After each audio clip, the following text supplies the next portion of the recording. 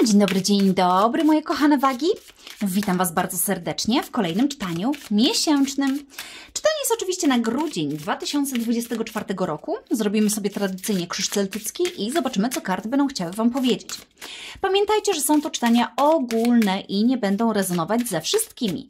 Bierzcie to, co dla Was, a resztę zostawcie, a jeżeli to czytanie to nie Wasza bajka, to pamiętajcie, że jest jeszcze ascendent księżyc, czy znak wenusowy, który zawsze warto sprawdzić. Zachęcam również do zajrzenia do opisu pod filmem. Jest tam kilka ważnych informacji na mój temat, z którymi warto się zapoznać, szczególnie gdy jesteście tutaj pierwszy raz.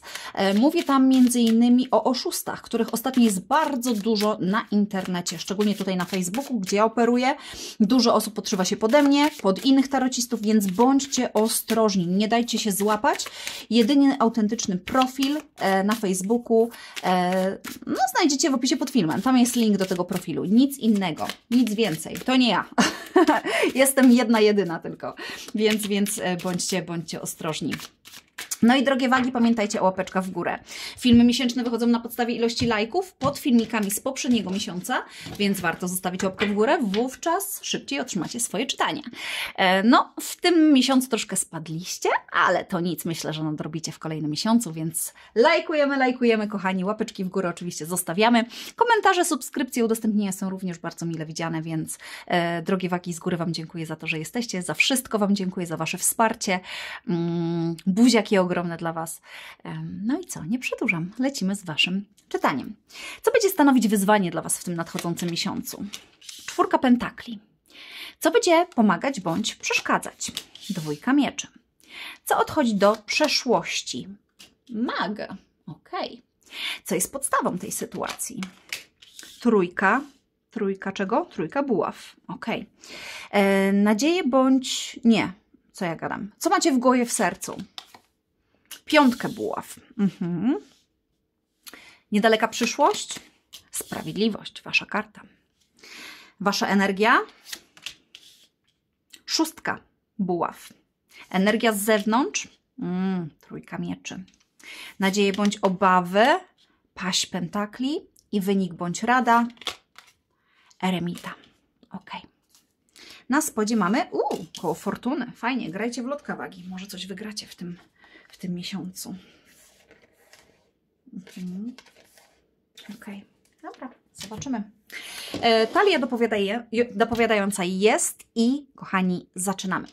E, Wasze wyzwanie na miesiąc grudzień. Czwórka pentakli. Po pierwsze, mm, zadbajcie o swoje finanse zacznijcie oszczędzać e, albo uważajcie na pewnego rodzaju wydatki. Wiem, że w grudniu zawsze jest ich dużo, ale tutaj warto by było kontrolować, na co wydajecie, bo możecie mieć taką tendencję do nadmiernego wydawania, e, a później, że tak powiem, na coś zabraknie albo pojawią się jakieś problemy, które, że tak powiem, będą stanowić właśnie jakieś wyzwanie. Więc tutaj oszczędność się przyda.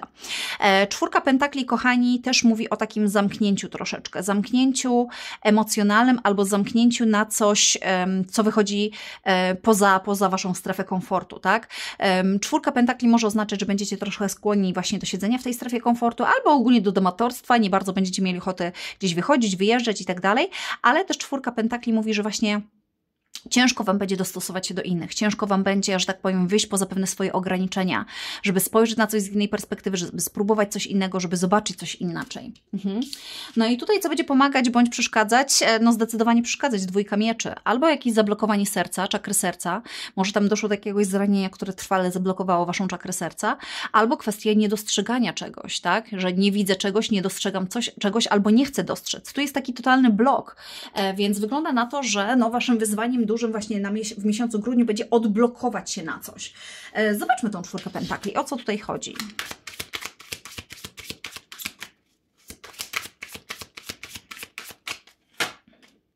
Dziewiątka kielichów. Uh, uh, uh, uh, uh, uh. uh.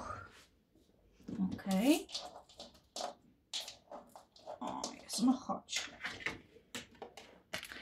Rycerz mieczy.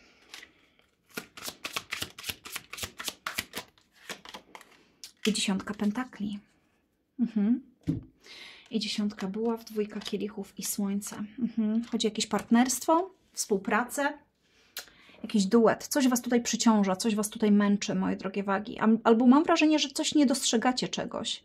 E, przede wszystkim dziesiątka pentakli e, mówi o i żyj długo i, i szczęśliwie i to w obfitości niczego im nigdy w życiu nie brakowało. Dziewiątka kielichów jest spełnieniem marzeń, słońce jest radością, jest spełnieniem. Dwójka kielichów jest miłością. A mam wrażenie, że wokół tego pojawia się, pojawiają się albo jakieś tematy tabu, albo jakieś obciążenia, albo jakieś trudności, albo problem z komunikacją. Rycerz mieczy działa zbyt pochopnie. To jest e, osoba, która działa impulsywnie, e, często działa nielogicznie, e, jest kutliwa, ale też poszukuje wiedzy.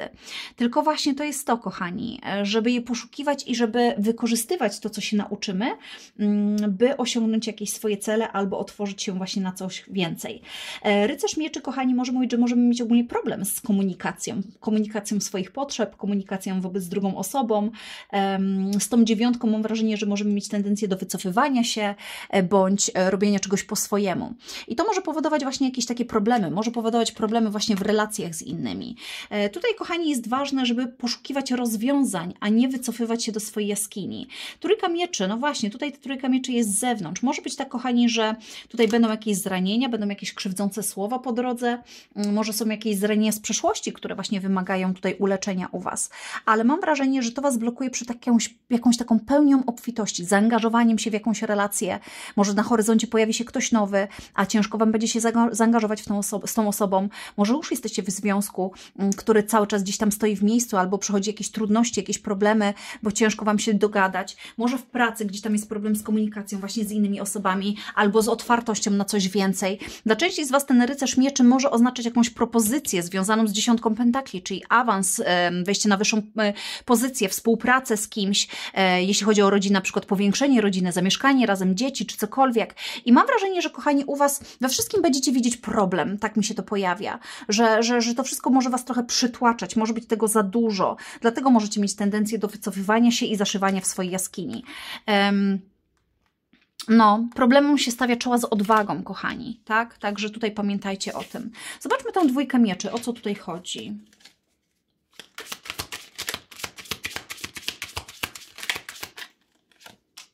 Piątka była w konflikt umiarkowanie. Mhm. I czwórka pentakli.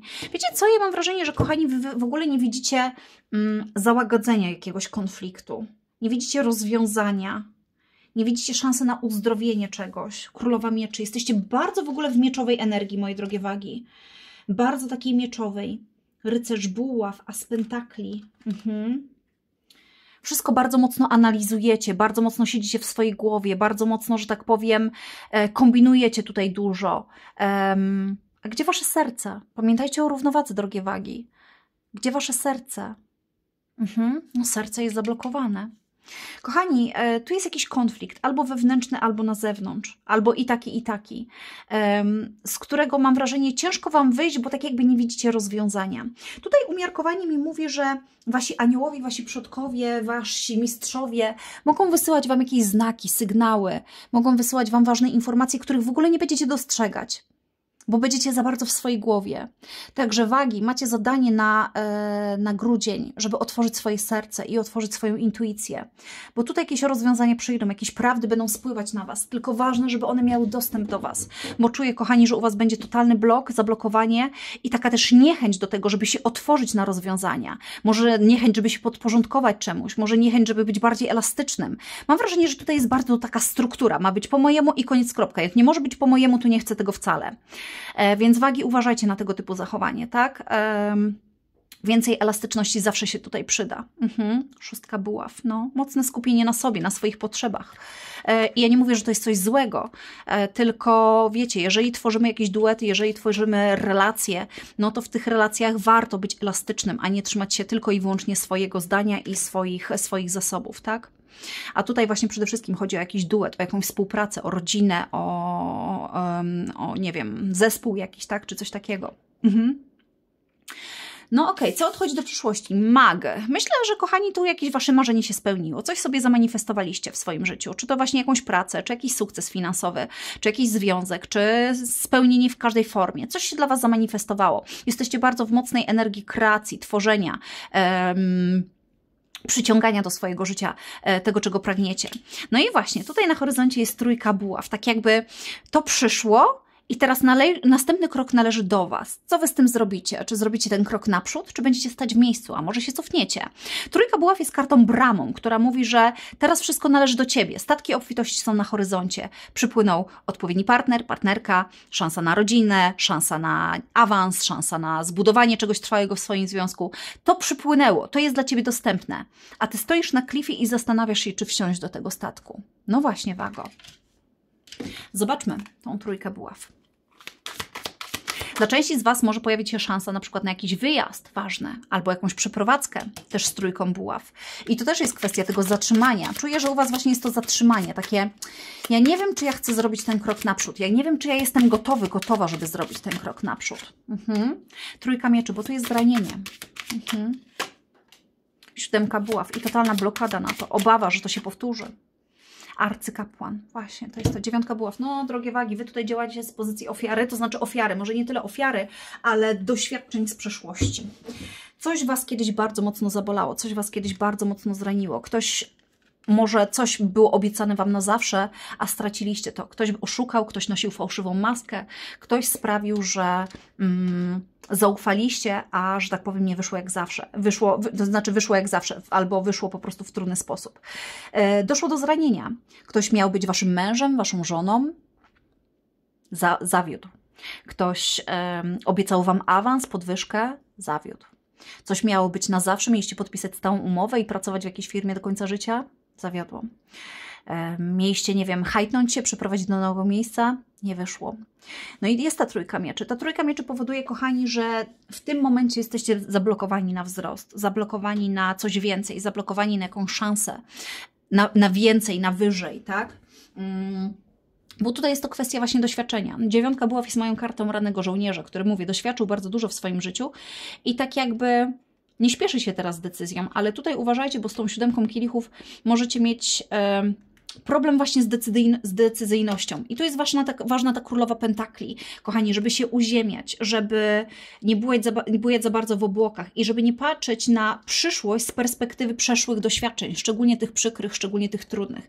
Jakaś obfitość jest tutaj dla Was na horyzoncie, ale czeka, żebyście zrobili krok naprzód i zostawili jakąś przeszłość za sobą. Cokolwiek to było, czy to było z tą osobą, z którą jesteście, czy w tej sytuacji, w której jesteście, czy to było coś zupełnie innego. Tutaj jest zranienie, tu jest jeszcze zranienie na sercu bardzo mocne. Z trójką mieczy, kochani, tutaj też może być ingerencja osób subtrzecich e, w Waszą sytuację, które w jakiś sposób, nie wiem, czy, czy mącą, czy, czy utrudniają spełnienie Jakoś tak czuję, że kochani, dla części z Was to może być. E, czy to mogą być jacyś ekspartnerzy, partnerki, e, czy to może być, nie wiem, kolega z pracy, z którym kiedyś mieliście zatarg, czy coś w tym stylu. Mm, mogą być jakieś osoby trzecie po prostu, które powodują, że zastanawiacie się, czy zrobić ten krok naprzód. Bo nauczeni doświadczeniem, e, boicie się zrobić krok naprzód, żeby po prostu to nie namieszało w Waszej przestrzeni. Mhm.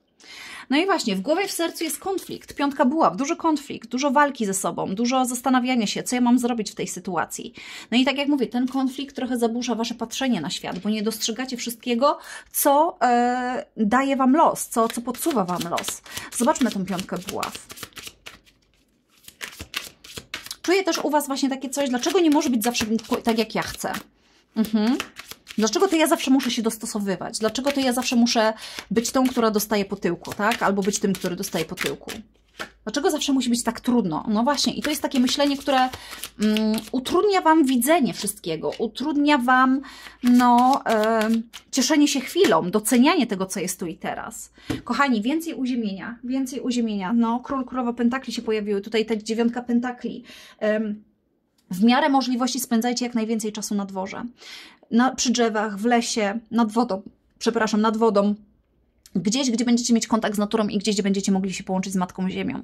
Jeżeli nie macie szansy na przykład, żeby wyjść z biura albo mieszkacie gdzieś w centrum miasta, e, słuchajcie e, odgłosów natury albo oglądajcie właśnie jakieś takie filmy, które będą pokazywać Wam zwierzęta, drzewa i tak dalej. E, wizualizujcie sobie, że łączycie się z Matką Ziemią poprzez korzenie, które wychodzą z Waszego ciała uziemienie i kontakt z naturą będzie niezwykle ważny. Ale patrzcie, ile tu jest trudnej energii. E, zamknięcie w swojej głowie, poczucie bycia ofiarą, konflikt wewnętrzny, który blokuje Was przed otwarciem na jakąś stabilizację. Tu mam wrażenie, że wszystko jest w Waszych rękach, ale tutaj jest właśnie ta energia takiego autosabotażu i obawy przed zranieniem, obawy, że sytuacja się powtórzy. To blokuje Was na Wasze i żyli długo i szczęśliwie. Czy to jest praca, czy to jest związek. Tu mamy cesarza, e, czyli mamy kogoś odpowiedzialnego, mamy dobrego szefa, szefową macie, mamy wzrost, e, mamy dobrego męża, żonę, mamy kogoś, z kim możemy zbudować swoją przyszłość. Tu jest Wasza przyszłość, drogie wagi. Ale czuję, że w Was jest bardzo dużo takich blokad, które powodują, że nie potraficie się tym cieszyć, albo właśnie za dużo myśli przychodzi, czarnych myśli, związanych z przeszłymi doświadczeniami, e, związanych właśnie z tym, co straciliście, albo co Was kiedyś skrzywdziło. I to utrudnia Wam bycie tu i teraz i cieszenie się potencjalnym sukcesem w przyszłości. Mhm. No i właśnie, co przyniesie niedaleka przyszłość? Mamy sprawiedliwość, kochani. Sprawiedliwość. Ym, Oczywiście jest tą sprawiedliwością karmiczną jak najbardziej, ale to też jest takie obiektywne spojrzenie na świat. Mam wrażenie, że będziecie mieli szansę coś dostrzec. Może pojawi się szansa na fajną umowę, podpisanie umowy, może ktoś Wam poprosi o rękę, e, może jakieś formalności będą do załatwienia, które też wskażą Wam właściwą drogę albo pokażą coś więcej. Dla części z Was nie wiem, czemu możecie mieć do czynienia z kimś, kto pomoże Wam dostrzec prawdę w danej sytuacji albo rozwiązać jakąś sytuację. Mm, część z Was może załatwiać jakieś formalności prawne, urzędowe, sądowe, tego typu rzeczy. Ale czuję, że to jest Wasza karta bardziej, czyli właśnie, że Wy będziecie miały, mieli szansę osiągnąć jakąś swoją taką sprawiedliwość, taką równowagę. E, zobaczmy tą sprawiedliwość. Mag. Siódemka pentakli. Kochankowie. No znowu para. Mhm. Piątka kielichów. Cesarzowa. Ósemka kielichów.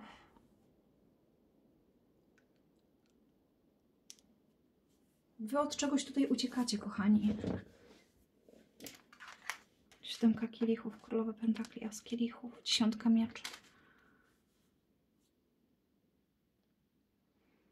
Mam wrażenie, że wy robicie ogromny krok w tył, żeby przyjrzeć się też wszystkiemu.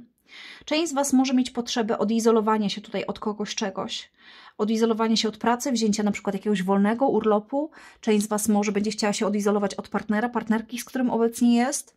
Mam wrażenie, że tutaj przyjdą jakieś oferty, przyjdą jakieś propozycje, ale tak jakby Wy zamiast to przyjąć od razu zrobicie krok w tył, tak? Na zasadzie ja nie wiem, czy ja chcę to przyjąć, ja nie wiem, czy ja mogę to zaakceptować, ja nie wiem, czy ja tego w ogóle chcę.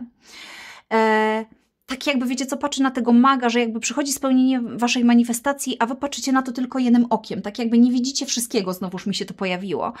I z siódemką pentakli, okej, okay, ja nie mówię, że macie od razu podejmować decyzje, tylko czuję, kochani, że... Mm, boję się, żebyście nie odrzucili tego czegoś, bo tutaj jest ta ósemka kielichów, czyli tak jakby... Mm, odwrócicie się od jakiejś obfitości i żeby, żeby pójść jakąś inną drogą, żeby właśnie nie zostać zranionym z piątką kielichów. Uważajcie na to. To jest dobry czas, kochani, żeby popracować z emocjami, żeby popracować z przyszłością, żeby uwolnić się od czegoś.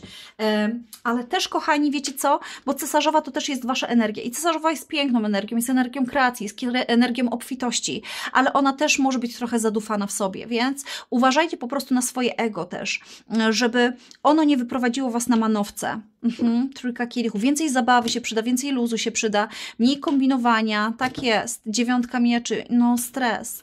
Stres tutaj. No ale znowu pojawia mi się ta trójka kielichów, więc to może być faktycznie ingerencja osób trzecich, kochani. Mm. Które, które mają wpływ właśnie na, na wasze widzenie tej sytuacji zaburzone trochę widzenie tej sytuacji. Mam wrażenie, kochani, że właśnie Wy podejmiecie decyzję, że potrzebujecie czasu z czymś, że e, potrzebujecie takiego zrobić właśnie krok w tył, żeby się zastanowić nad tym, co dalej, żeby zastanowić się po prostu, mm, co, macie, co macie wybrać, w którą stronę macie pójść. E, myślę, moi drodzy, że to może być czas, w którym będziecie chcieli spędzić więcej czasu w samotności. Nawet ten eremita mi się tutaj na końcu pokazuje, e, żeby zastanowić się nad tym po prostu, jaką decyzję macie podjąć. No i właśnie, Wasza energia to szóstka była będziecie bardzo mocno skupieni na, na sobie i na swoich potrzebach. Uważajcie tylko na ten egocentryzm, kochani, żeby nie obrosnąć w piórka. E, szóstka była w ok, jest ważnym elementem, żeby właśnie skupić się na sobie, skupić się na swoich potrzebach. Mm. Tylko uważajcie właśnie, żeby, wiecie co, bo tutaj cały czas właśnie tak czuję, że musi być tak, jak Wy chcecie. Albo wcale. E, I tutaj ta elastyczność się przydaje mimo wszystko. No ale dobra, zobaczmy tą szóstkę buław. Zobaczmy tą szóstkę buław. Król mieczy. No właśnie, tutaj mam wrażenie, że podejmujecie decyzję. Tak, dziesiątka mieczy. Właśnie to jest to. Uwalniacie się od jakiegoś problemu. Coś ktoś coś uważacie za problem, albo kogoś uważacie za problem w swoim życiu. E, czy to jest związek, czy to jest jakaś sytuacja, czy to jest współpraca. Mm. Mam wrażenie, że to powoduje dużo konfliktów właśnie wewnątrz Was. E, to powoduje właśnie dużo jakichś takich. E, zaburzeń, że nie potraficie czegoś dostrzec, że chodzicie zdenerwowani, wiecznie krytyczni, smutni, rozżaleni albo coś takiego. I czuję, że właśnie to może być czas taki dla Was, w którym stwierdzicie, o nie, ja muszę się od tego zdystansować, żeby zastanowić się na tym, co dalej. Muszę się zastanowić, czego ja właściwie chcę w swoim życiu. I wygląda na to, drogie wagi, że będziecie przeprowadzać z kimś poważną rozmowę. Może właśnie rzucić jakimś L4, może załatwicie sobie jakieś dłuższe zwolnienie, e, może, kochani, wykorzystacie jakieś inne zaległe urlopy, albo e, rzucicie wypowiedzeniem, tak? E, nie wiem, jeśli można na jakiś, jakiś okres próbny czy coś w tym stylu, nie wiem, nie znam się. Dla części z Was może poodwołujecie wszystkich klientów, dla części z Was może przestaniecie z kimś rozmawiać, a dla części z Was rozstaniecie się z partnerem albo powiecie, że po prostu potrzebujecie czasu, żeby przemyśleć pewne sprawy. To jest czas Waszego uwolnienia, to jest czas skupienia na sobie, na sobie i na swoich potrzebach. Um, dokładnie, czas decyzji, czas decyzji, ale no właśnie tutaj uważajcie, bo będzie rządzić Wami lęk, będą rządzić Wami poprzednio jakieś tam e, wspomnienia. E, ta dziesiątka kielichów, ona tutaj czeka, tak jakby czeka, ale to wszystko będzie w zawieszeniu, bo wy na razie wagi, tak jak mówię, robicie krok do tyłu, tak? Krok do tyłu, żeby się uwolnić od czegoś. To może być po prostu taki czas dla was, że zanim zrobicie krok naprzód, będziecie musieli cofnąć się do jakiejś przeszłości, może jakaś regresja na horyzoncie, może jakaś e, terapia, może jakiś coaching czy coś w tym stylu, który pomoże wam się pomoże Wam właśnie uporządkować swoje uczucia, jakieś emocje i uwolnić się od tego, co było. E, ale czuję, kochani, że właśnie to jest to, że to jest to, że Wy robicie po prostu krok do tyłu, że nie przyjmujecie czyjejś oferty, nie chcecie iść do przodu mm, w jakiejś sytuacji, bo boicie się, że to zawiedzie, albo boicie się, że tego jest za dużo, boicie się, że ingerencja osób trzecich tutaj w jakiś sposób namiesza.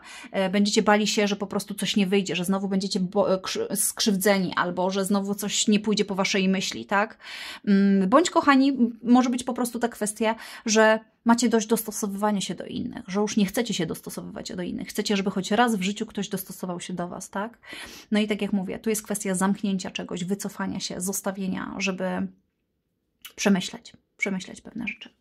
No i właśnie, z zewnątrz jest trójka mieczy. Teraz czuję, kochani, że to może nie być e, wasze rozczarowanie, a czyjeś, tak, w tym momencie. Także tutaj może być jakieś czyjeś zawiedzione oczekiwanie, może ktoś właśnie chciał coś z wami więcej, może ktoś chciał was, nie wiem, um, czy na dłużej, czy coś takiego. Czuję, kochani, że tutaj komuś możecie rozedrzeć serce w tym momencie. Zobaczmy tą trójkę mieczy.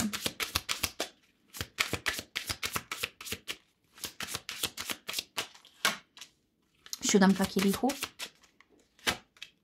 Król kielichów.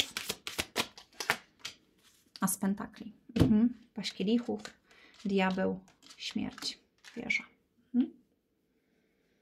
Hmm. No.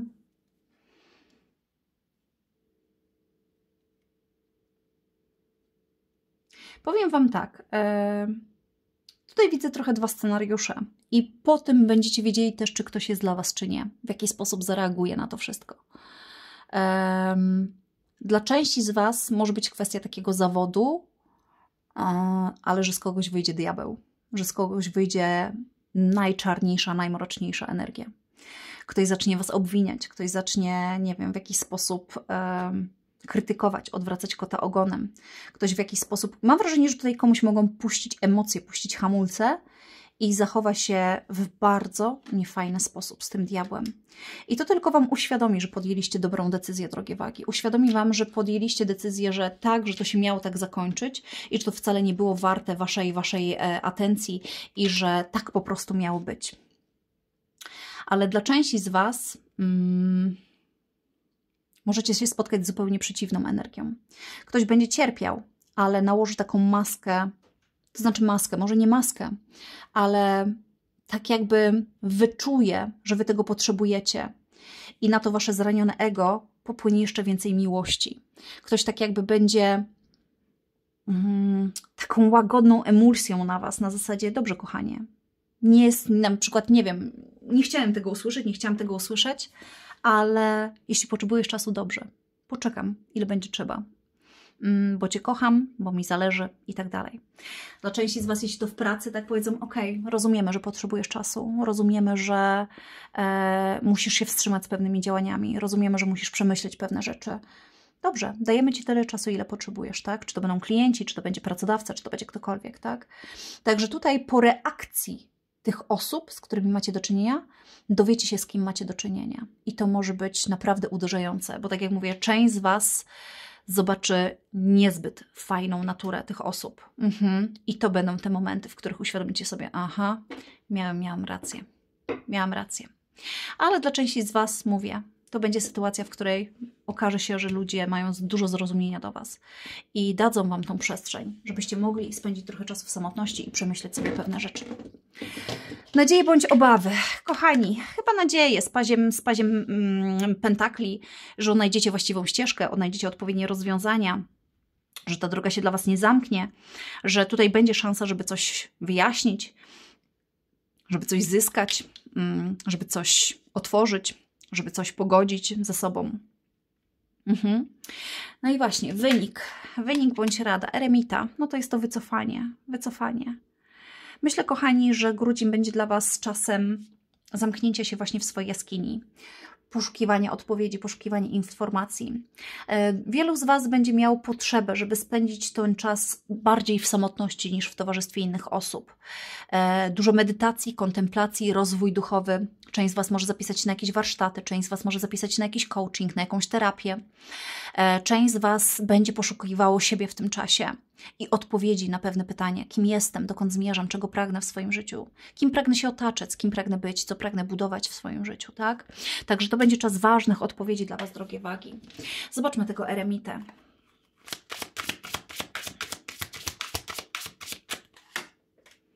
Piątka mieczy. Piątka kielichów. Mhm. Szóstka pentakli. Siódemka mieczy dziewiątka pentakli, dwójka buław. Oj, kochani, troszkę e, mi wygląda na jakąś taką nawet ciemną noc duszy na kumulację bardzo trudnych energii, e, które będą wyłazić u Was na koniec roku, będą się jeszcze czyścić przed rozpoczęciem nowego roku. Mogą wrócić do Was jakieś wspomnienia, przykrych wydarzeń, trudnych wydarzeń, które będą szukały ujścia i będą szukały właśnie uleczenia. Nie blokujcie tylko tego, nie próbujcie się wymigać, nie ignorujcie tego wszystkiego, tylko na bieżąco uwalniajcie i czyśćcie energetycznie. E, dajcie temu uwagę, pozwólcie, żeby pewne emocje przepłynęły. Jeżeli potrzebujecie, zasięgnijcie jakiejś opinii, zasięgnijcie jakieś porady, porady kogoś, um, właśnie mówię, coaching, terapię czy coś takiego.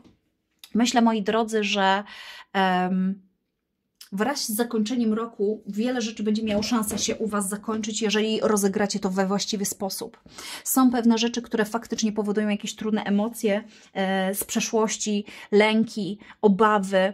Mm, I mam wrażenie, że z tą szóstką pentakli też pojawi się ktoś właśnie na horyzoncie, kto pomoże Wam e, dostrzec to wszystko. Mentor, psycholog, terapeuta, ktoś taki.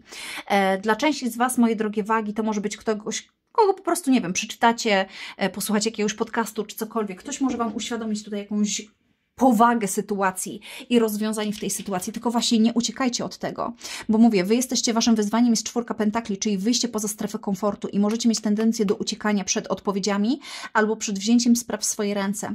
A tu jest ważne, żeby to przerobić, kochani, bo czuję, że wraz z tym pojawi się szansa właśnie na to, żeby w końcu, patrzcie, się otworzyć na swoje i żyje długo i szczęśliwie, czy to w relacji, czy to w miłości, czy to w związkach, czy to w jakimś partnerstwie biznesowym, czy gdziekolwiek dołóżmy sobie kartę.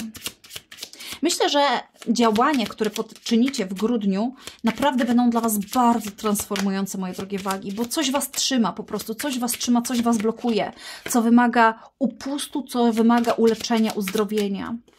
Mhm. Patrzcie to cały czas jest w Waszej energetyce. Powiem Wam tak, jeżeli ten scenariusz, który tu mówiłam, będzie ten drugi, właśnie ten z miłością, z czułością, z wrażliwością, ta osoba będzie cały czas na Was czekać. Myślę, że to, co uwolnicie w grudniu, to, co uwolnicie, oczyścicie w grudniu, zrobi Wam piękną przestrzeń do zbudowania pięknej relacji albo pięknej współpracy. Zrobi Wam przestrzeń do tego, żeby zrobić krok naprzód, zostawić to, co było, zostawić lęki, zostawić obawy i faktycznie pracować nad sobą, a co za tym pójdzie, też pracować nad tym związkiem, pracować nad relacją. Da Wam szansę na otwarcie się na coś nowego. Dla części z Was, kochani, jeżeli to był ten drugi scenariusz, może pojawić się ktoś nowy na horyzoncie. Nie wiem, czy jeszcze w grudniu, może na koniec grudnia tak, może na, z początkiem roku, ale zrobi się przestrzeń na poznanie kogoś, z kim faktycznie faktycznie będziecie mogli osiągnąć swoje życie długo i szczęśliwie. Tak samo w pracy, tak samo w kwestiach zawodowych. Tu się pojawi taka akceptacja siebie, miłość dla siebie, co automatycznie przełoży się na sprawy finansowe i na sprawy zawodowe.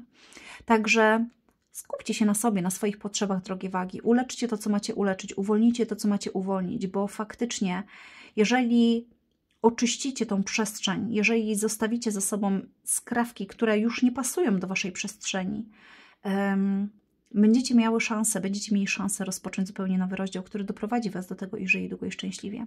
Tutaj na spodzie jest to piękne koło fortuny, które mówi, że nadchodzi naprawdę jakaś duża zmiana, która przyniesie niesamowite niesamowity obrót losu, która przyniesie Wam spełnienie marzeń, która przyniesie Wam zakończenie jakiegoś trudnego rozdziału, która przyniesie Wam miłość, kochani, otwarcie się właśnie na zupełnie nowy świat, w kierunku słońca, szczęścia, radości, uzdrowienia, spełnienia marzeń.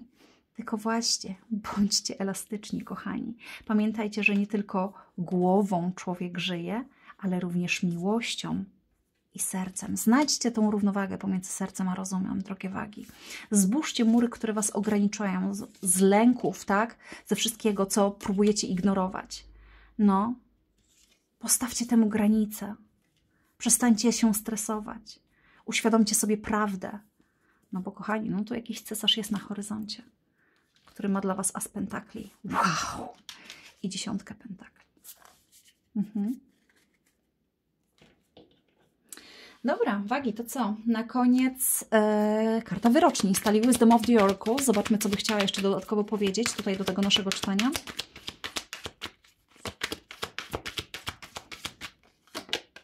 Deep Knowing. Głęboka wiedza. No tak na spodzie round and round, coś się powtarza w kółko i w kółko i w kółko, coś trzeba uwolnić, dokładnie, jakąś powtarzającą się historię, schemat. Będzie to czas chaosu i konfliktu, szczególnie wewnętrznego, ale to będzie też czas, w którym stare kawałki, które już nie pasują do Was, zostaną uwolnione, bo tutaj um, w zasięgu jest jakaś bratnia dusza, czy to w przyjaźni, czy to w współpracy, czy to w relacji. Um, obserwujcie to, bądźcie na to otwarci, pomóżcie, pozwólcie sobie pomóc. Um, Przyniesie Wam to bardzo dużo szczęścia, spełnienie marzeń, naprawę czegoś, naprawę siebie, ale też odpowiedzi a propos dlaczego czujecie się tak samotni, boicie się zaufać. Zaufajcie losowi, jesteście błogosławieni, współpracujcie z górą, no, czeka Was nowe życie. Możecie teraz być właśnie na rozdrożu dróg, ale kochani, niedługo pojawi się szansa właśnie na rozpoczęcie zupełnie czegoś nowego. Ok, Deep Knowing, karta numer 43, głęboka wiedza, strona 65. Te numery mogą być dla Was ważne, drogie wagi, w nadchodzącym czasie, albo teraz już. Weźcie jak czujecie. Intuicja, słuchanie wewnętrznej wyroczni, empatia, nadwrażliwość. I teraz tak, wiadomość ogólna. Intuicja jest zdolnością, która pozwala na prowadzenie dialogu z górą, ze świadomością, której jesteś częścią, ale nie możesz zobaczyć gołym okiem. Fakt, że ludzie zostali wyuczeni ignorować tę naturalną zdolność, nawigującą ich podróż, jest kłopotliwy. Wiedz, że posiadasz umiejętność czytania między wierszami oraz odnalezienia prawdy, której brakowało podczas opowiadań. Ta głęboka wiedza pozwala Ci otworzyć drzwi do mądrości o wiele większej niż ta dostępna w ludzkich ograniczonych doświadczeń, z ludzkich ograniczonych doświadczeń. Możesz otrzymać informacje, które nie mają sensu dla logicznego umysłu lub pięciu zmysłów, ale które są w 100% właściwe i prawdziwe. Sęk tkwi, by słuchać, a później postępować według nich. Zostałeś zaproszony do tego świętego dialogu, głębokiej wiedzy, więc dołącz i zaufaj swoim wibracjom. Będą miały rację. Zapytaj, a otrzymasz odpowiedź z niezwykłego źródła. Wow! Miłość. Są pewne sytuacje, że po prostu wiesz, głęboko w sercu i duszy, że ta osoba odegra znaczącą rolę w Twoim życiu. Ktoś przecina Ci drogę i nagle, jakby znikąd, jesteście ze sobą połączeni na tylu poziomach, że aż ciężko to opisać. To uczucie sprawia, że ten moment w czasie wryje się na stałe w Twoją duszę. Osoba wkraczająca w Twoje życie odegra istotną rolę w Twojej podróży, więc uważaj. Dwa serca nawołują siebie nawzajem, by zacząć alchemiczny proces. Ponadto jest to informacja, że Twoja intuicja nie myli się w sprawie osoby, na której Ci zależy. Zaufaj swojemu sercu i pozwól mu się prowadzić. Stanie się magia. I praca. To czas, w którym Twoje przeczucia przyniosą dużą ilość pieniędzy, jeśli ich posłuchasz, zaryzykujesz i zadziałasz. Wewnątrz Ciebie jest prorocza świadomość, wyższa i głębsza wiedza, która przekracza możliwości mniejszego, myślącego umysłu. Na głębszym poziomie Twoich intuicyjnych zmysłów masz dostęp do geniuszu zespołu z góry, energię wszystkich myślicieli i twórców, wynalazców i liderów oraz wszystkich innych, którzy są Ci potrzebni do osiągnięcia sukcesu. Są gotowe, by się z Tobą połączyć. Słuchaj z uwagą. Poza zajętym umysłem czeka geniusz. Czyli drogie wagi, ja wiem, że Wy jesteście znak powietrzny, ale no, czas wyjść z głowy i wsłuchać się w głos intuicji. Coś Was tutaj nawołuje, coś Was nawołuje, jakaś prawda, jakaś mądrość, bardzo mocno jakaś relacja, kochani, która jest Wam przeznaczona. I Wy w głębi duszy tego to, to wiecie. Mm, tylko właśnie może być po prostu coś jeszcze do przerobienia wewnątrz Was, by móc się w pełni na to otworzyć. Więc też poświęćcie sobie czas, żeby, żeby to uporządkować, żeby to oczyścić, by mogło to w pełni nastąpić w Waszym życiu. Wszystkiego dobrego, życzę Wam udanego miesiąca, powodzenia ze wszystkim. Dbajcie o siebie i do zobaczenia. Pa, pa.